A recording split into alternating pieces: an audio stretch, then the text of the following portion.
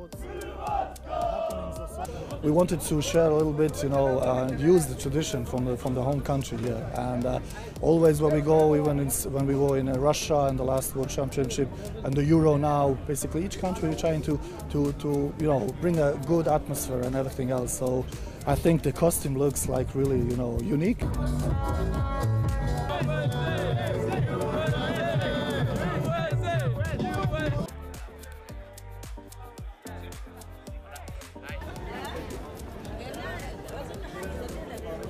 Well, I mean, uh, they, they're a little bit uh, surprised that someone like wearing a Spanish uh, shirt is uh, wearing this, right? So, um, so yeah, that's, uh, that's that's and they also like uh, stop me and they fix it a little bit because of course I don't know how to how to do it, right? So, uh, so it's, it's been a lot of fun.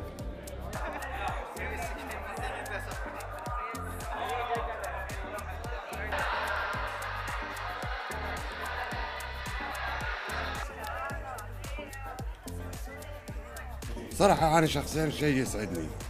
ما عندي مشكلة فيها. آه وبالنسبة لبعضهم البسوا الألوان يعني طبعا الغترة الصفراء والخضراء والعقال الأخضر إحنا ما يمشي عقالنا أسود. والغترة هي البيضة والشماغ الأحمر. هذه هي. يلبسونها على أساس رمز ل شعارهم أو دولتهم أو علمهم كمشجعين. بس حلو إنه يكون العقال هو الرمز.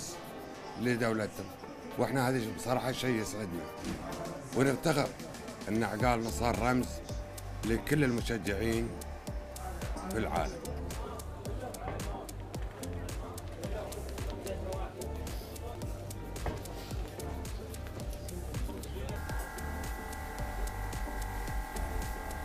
هو البشت دائما بالنسبة للخليج وللعرب شيء رسمي وأساسي يعني. إحنا عشان كذا حاولنا نسوي شيء عشان الأوروبيين يشوفون هاي لبسنا وحاجات الخاصة بنا وتكون يعني زي ما تقولي ثقافات متقاربة وشيء يكون متواصل من بعض إن شاء الله.